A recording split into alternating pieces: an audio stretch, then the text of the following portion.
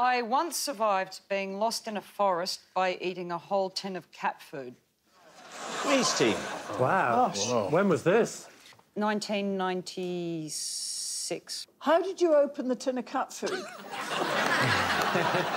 I, uh, I smashed it on a rock. I smashed it on a nearby rock, and I had to keep smashing it uh, like I was like early man. And what did you use to eat it? My fingers. Oh. Why did you have cat food? Well, she'd already eaten the cat. Let's, let's, let's, let's wind back a bit. Are we in Australia? Yes, Which part of Australia are we in? it was about seven hours out of Sydney. I was at university.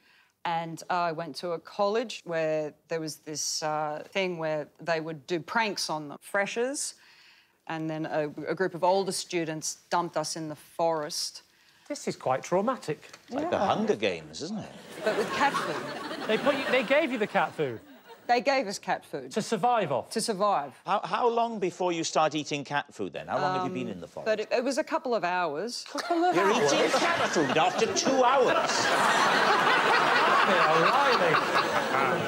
I was expecting this to be in at least out, Yeah. like days even, maybe, like a couple of days. Day days. four. That would be my estimate. Hour two, and we give in. How long were they intending to, to keep you in this forest? We had to find a way back. We had to um, hitchhike back to the, s- to the city. Well, we, we tried walking, but it was Australia's much much larger than. That it is on my map at home. That's right. Wow. What do you think, Pam? I think it's true. Yep, Yeah. I do.